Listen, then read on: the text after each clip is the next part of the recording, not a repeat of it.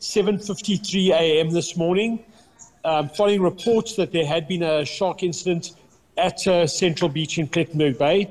Uh, on arriving on the scene, the NSRI launched a sea rescue craft. They recovered the body of a female from the water.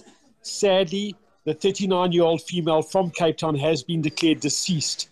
We are appealing to the public uh, to be cautious around the coastline in Plettenberg Bay, but also along the coastline of the Southern Cape.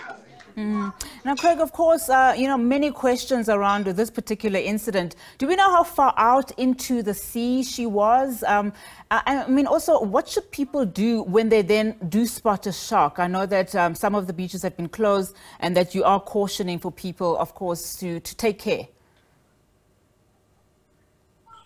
Yeah, so it has been determined that we believe that the lady was swimming in the sea at the time. Uh, her body was recovered from approximately 50 meters offshore. The incident itself is still under investigation, uh, but we are continuing to appeal to the public to exercise caution in and around the Plettenberg Bay coastline and the Southern Cape coastline because of an, an unusual increase in shark activity along that stretch of coastline. Mm. Uh, do you know how long, uh, you know, the beaches will be closed for? So the Bitou municipality has pretty much historically speaking the next few days. It's obviously impossible to prevent a person from entering the water.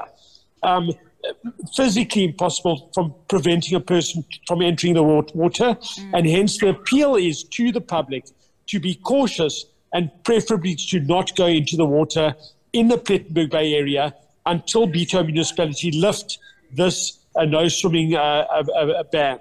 Mm. You know, in June um, of this year, we know that, uh, uh, you know, a man was also attacked uh, by a shark and uh, succumbed to his injuries more or less in the same area. And, and, you obviously talk about unusual increase in these shark attacks. How worried are you as rescue services?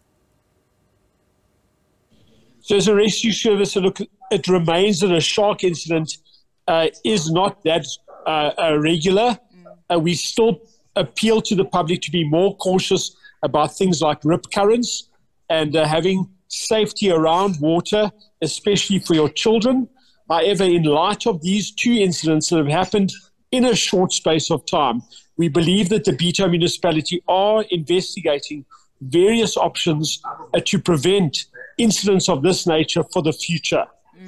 And in fact, uh, Craig, I don't know how much you can, you know, help us with uh, with this understanding, but we do know that, in fact, the Bitou Council approved in May. They approved research on a shark barrier at Central Beach. How much of these barriers will then, you know, um, aid in in preventing such incidences from happening in the future?